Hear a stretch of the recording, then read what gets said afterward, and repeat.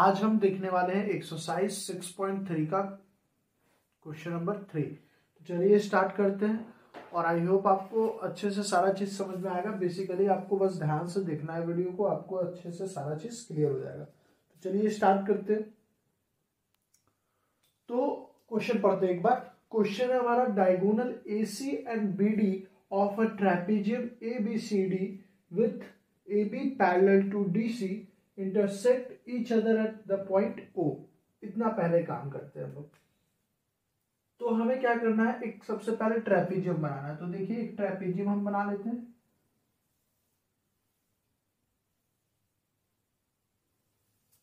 ये हमारा ट्रेपीजियम हो गया। अब इस ट्रेपीजियम का भी नाम पहले से दे रखा है। ए बी और C D A B C D एक ट्रेपीजियम हमने बना लिया यहाँ पे।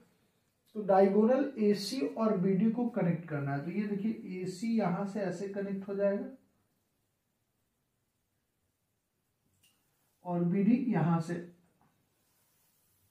ये कनेक्ट हो गया। ठीक है? तो जनरली ए सी और बी डी इस ट्रेपेजियम के दो डायगोनल हैं जो कि इंटरसेक्ट कर रहे हैं एट द पॉइंट ओ तो ये ओ यहाँ का पॉइंट हो गया जहाँ पे ये दोनों इंटरसेक्ट कर रहे हैं। अब आपको क्या करना है? A similarity criteria for two triangle so that O A ये to O C sorry O A by O C बराबर बाई ओ डी आपको प्रूव करना है। और यहाँ पे एक चीज़ और दे रखा है कि सी जो है, वो बी जो है, वो पैरेलल है किसके? सी के। ठीक है? तो जब पैरेलल होता है तो कॉन्सेप्ट उसका भी हम लोग यूज़ करेंगे। जब पैरेलल होता है कोई चीज़, तब देखते हैं। जब पैरेलल होगा तो क्या होगा?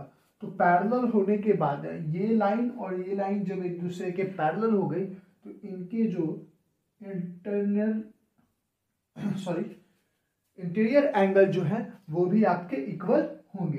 दैट मीन्स ये एंगल जो है, वो इस एंगल के इक्वल होगा। ये जो एंगल है वो किसके इक्वल होगा? इस एंगल के इक्वल होगा। और ये जो एंगल होगा वर्टिकली ऑपोजिट एंगल भी आपका इक्वल होगा। ठीक है? तो तीन एंगल हमको आपस में इसके इक्वल मिल गए। तो अगर हम ट्रायंगल यहाँ पे देखें इन ट्रायंगल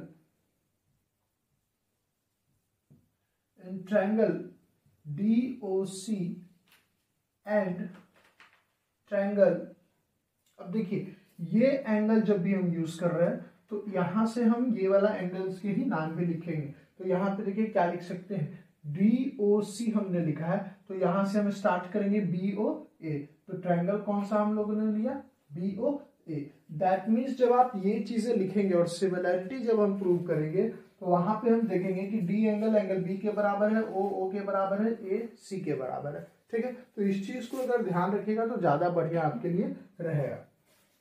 तो यहाँ पे अगर हम ट्रायंगल सी को देखो डी ओ सी को और ट्रायंगल ओ ए को देखें तो हम यहाँ पे क्या क्या चीज़ें मिलते हैं? तो सबसे पहले देखिए एंगल डी सी ओ जो है angle D C O D C O वो किसके बराबर हो जाएगा?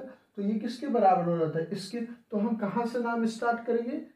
एंगल के थ्रू चलेंगे तो बी ए ओ तो डी सी ओ जो होगा वो एंगल बी ए ओ के बराबर होगा क्यों अल्टरनेट इंटीरियर एंगल्स क्यों क्योंकि ए बी जो है वो पैरेलल है किसके? डीसी के। ये हमने पहले कर चुका है।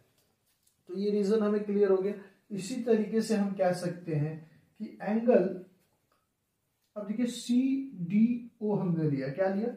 सी डी ओ तो उस हिसाब से क्या हो जाएगा? ए बी ओ तो हम लिख सकते हैं C D O is equal to angle A B O कोई दिक्कत नहीं है। ये भी क्या हो जाएगा? अल्टरनेट इंटीरियर एंगल्स क्यों? क्योंकि A B parallel to D C है। ठीक है?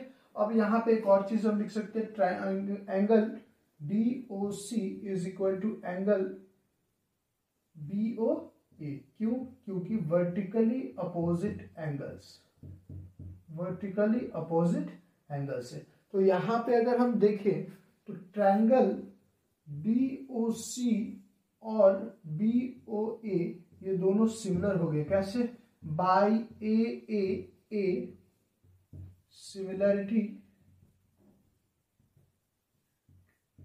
criteria किससे ये दो ये पूरे ट्रायंगल सिमिलर हो गए? तो by A A A similarity criteria से ये सिमिलर हो गए।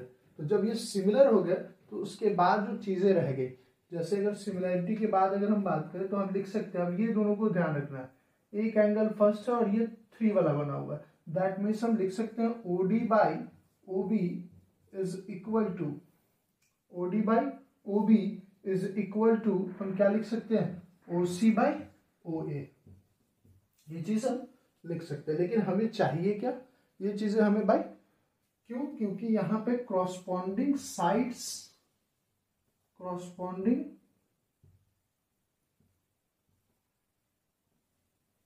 ponding sides are proportional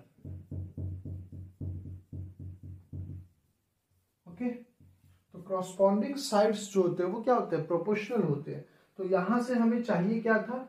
O A by O सी हमें क्या मिला है? ओ सी बाई ओ ए और क्या है? O B by O D हमें मिला क्या है? O D by O B तो हम बस इसे क्या कर देंगे? इंटर चेंज कर देंगे। तो यहाँ से हम लिख सकते हैं O B by O D is equal to O A by O C और ये चीज़ें हमें यहाँ मिल चुकी है। तो इसी तरीके से ये हमारा प्रूव्ड हो गया।